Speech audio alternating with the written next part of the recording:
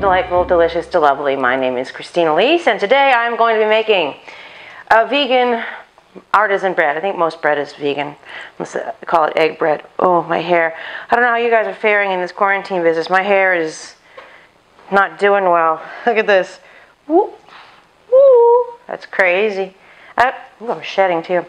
Disgusting hair situation. You're only going to see me in a hat for a long time coming. Um, also, I put makeup on for the first time in a while and got fucking foundation in my eye. My left eye won't stop watering, so I'm going to be sniffing through this whole video because my whole sinus system is irritated with me at this point. So I don't have the COVID. I'm just going to be sniffly because I have makeup in my eye.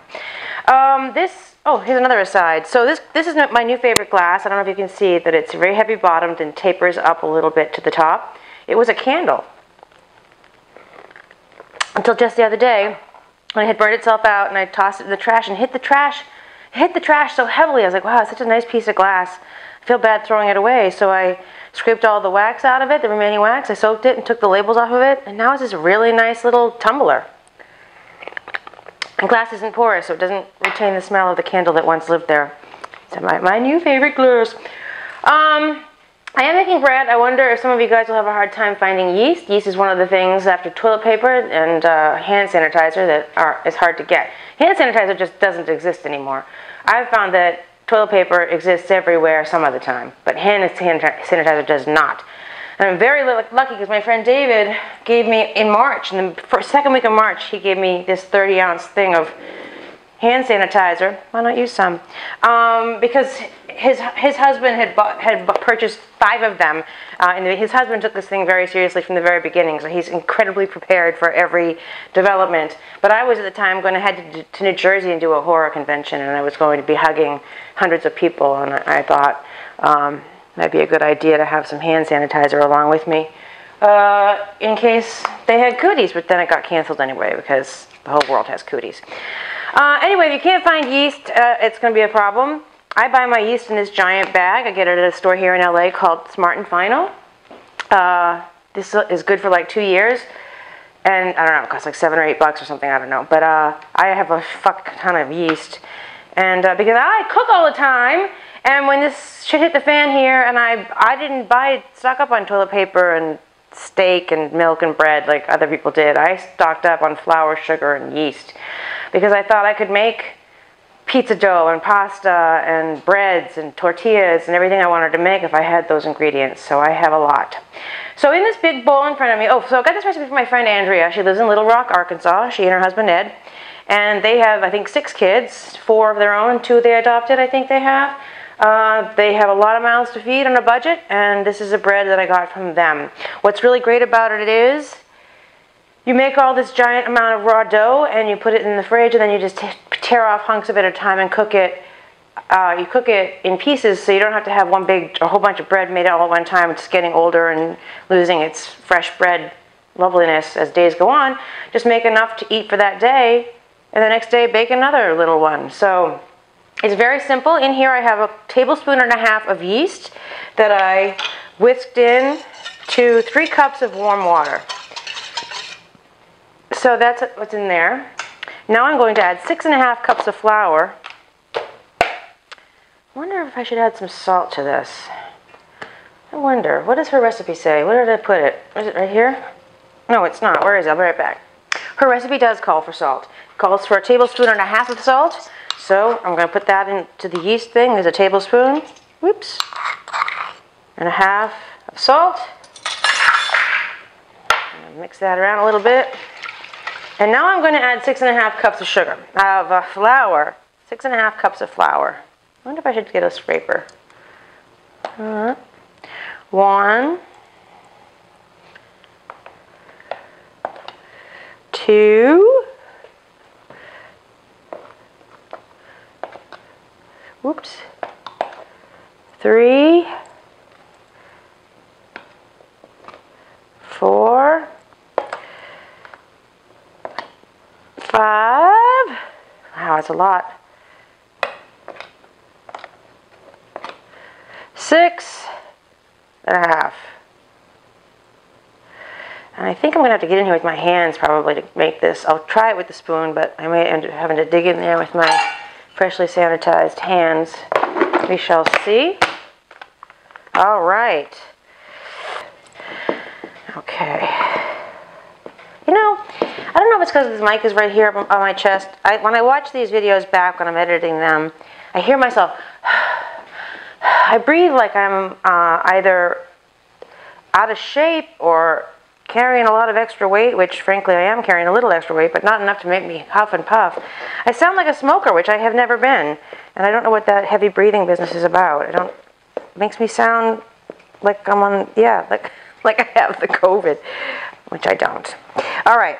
So this is sticky goo. I'm going to open this flour thing up, so I might need to just knead this by hand a little bit. Hang on. Make a big mess.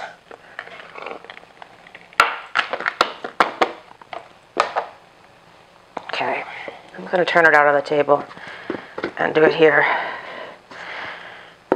so you can see. You saw me sanitize my hands. Not that it matters, I'm the only one that's going to be eating this fucking bread because nobody's allowed to see anybody.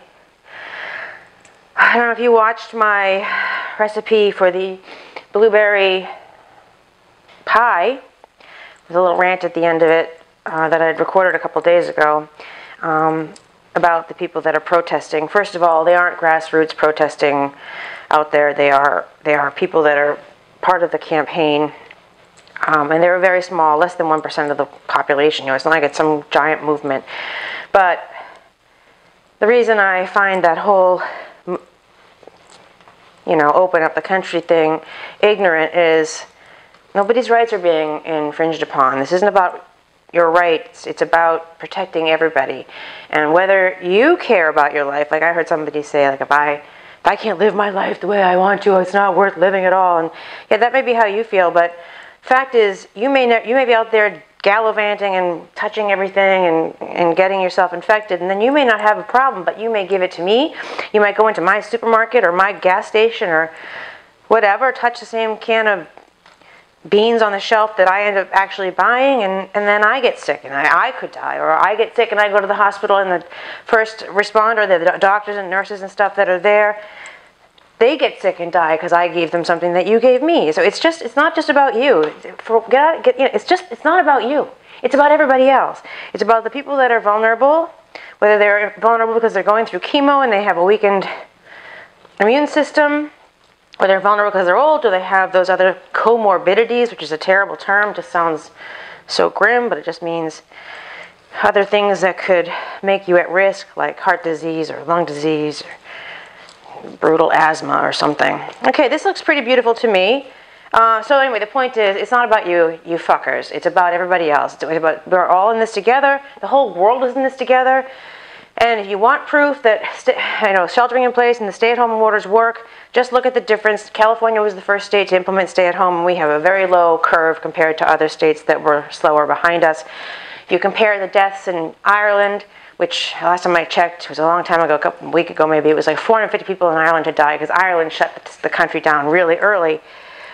But England had 16,000 deaths because they did not shut the town, the country down early. And the same thing with Sweden and their neighboring countries. Sweden didn't do anything. They're like, fuck it, we're gonna just like live our life and let this thing run its course.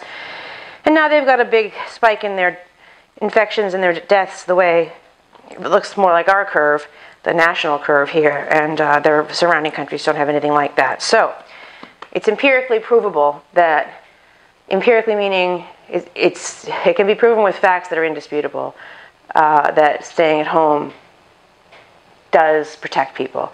So it's not my fault if you marry somebody you hate. you don't want to be cooped up with them.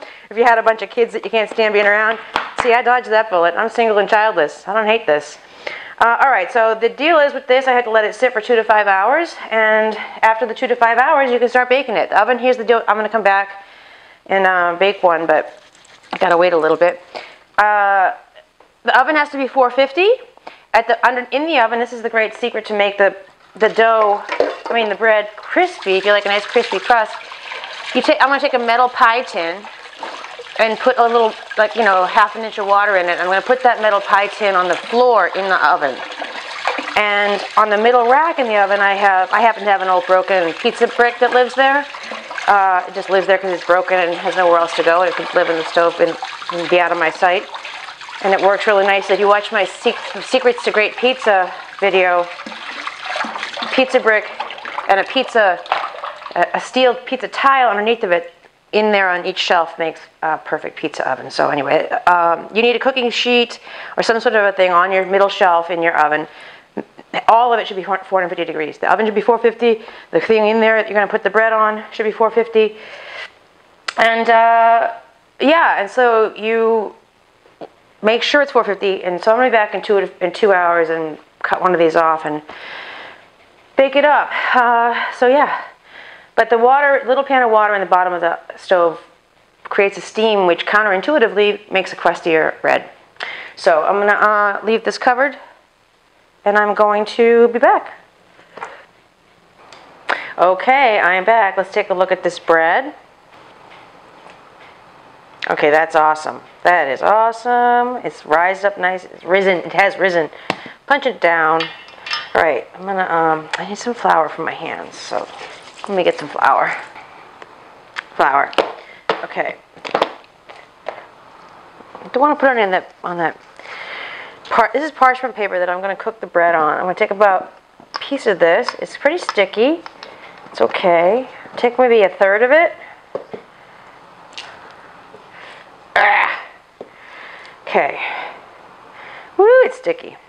I guess I should put a little bit of flour on it to just keep it from being so sticky so it won't stick to that parchment. All right, so there we have it. Last time, the only, I made this dough once before, and I made, the first loaf that I made was about half of the quantity. I'm going to go with less than that because I want that to last. That'll last for days in the, in the fridge, raw. Um, I had put it on parchment paper, but I used some corn starch, or not starch, some cornmeal or something under it to keep it from sticking, and the cornstarch stuff burned and it made, instead of having the nice smell of bread cooking in the oven, I got the smell of corn, whatever meal, burning in the oven, which wasn't nice.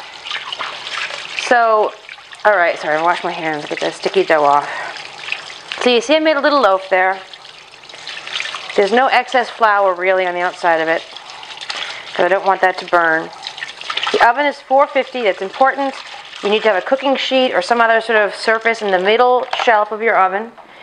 So cooking a cookie cookie sheet, or I've got a pizza brick in there, pizza yeah brick, um, and I'm going to put this bowl, this pie tin of water on the bottom of my oven, on the floor of my oven, and I'm going to cook. This is not sticking. I don't want any flour to burn. So okay, so there it is, the little a little loaf. I'll make it a little bit long and like that show you. Okay, I'm going to take a knife and I'm just going to, just for decoration purposes, I'm going to put, I need a serrated knife. It'll work. A little cut, just make a little decoration on it. Right? So there's like four little cuts. They're not really, I wish I had a serrated knife. All my serrated knives are in the dishwasher right now. It's going to have to work. And I'm just going to put that on the bottom and this on the, on the thing and I'm going to give it, I think when I did half the it took me 25 minutes, so I'll check this about 15 or 20 minutes and then I'll get back and show you what it looks like. Okay, I left that in the oven for 15 minutes. 15 minutes is all a piece of loaf of bread this big took. It is crunchy on the outside. It's, oh, it's beautiful. And oh my god, it smells so good. So there you have it. There it is. I'm still just literally out of the oven, too hot to hold. It's a beautiful thing and so easy. You saw me make it right in front of you. So I recommend it very highly. I used maybe a little bit more than a third, maybe closer to half of that loaf. But I am excited to cut into it and uh, put some vegan butter on it or something. I don't even know what, but it's going to be a beautiful thing. Maybe I'll just make some spaghetti sauce and just dip it in spaghetti sauce. But it's beautiful. So there you have it. That is my, via Andrea Lowry of Little Rock, Arkansas. That is my version of her artisans, actually her recipe, um, verbatim. So there you have it. I'm what a rambling fool I am. It was easy. Try it. If you can't find yeast in your stores, try Amazon. There's, there's ways to get yeast. And so there. Okay. Be safe out there. Wear your mask when you're in public. I just saw a thing on the news. Somebody coughed, and they showed like in two seconds it had gone three feet. In, in 15 seconds it had gone 9 feet, and 45 seconds it had gone 13 feet. They had this like smoky, like green mist showing where the cough went. So stay safe, wear a mask, protect yourself, protect other people from your cooties too, and that is that. Please subscribe, and until next time, the next recipe I'm going to post is going to be uh, mushroom pate, vegan mushroom pate, which will go very nicely on this. So be well, be safe, and until next time, bye.